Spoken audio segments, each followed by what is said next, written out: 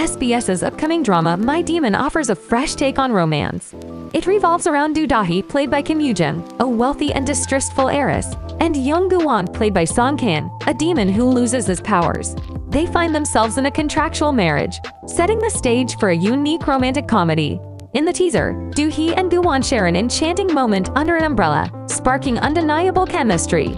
Doohee, initially hesitant, tries to convince herself that their marriage is just a facade. However, her feelings for Gu-won continue to grow.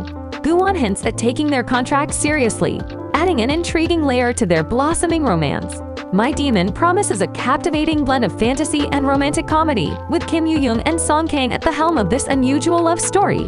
Viewers can anticipate a sweet yet perilous romance as the drama unfolds.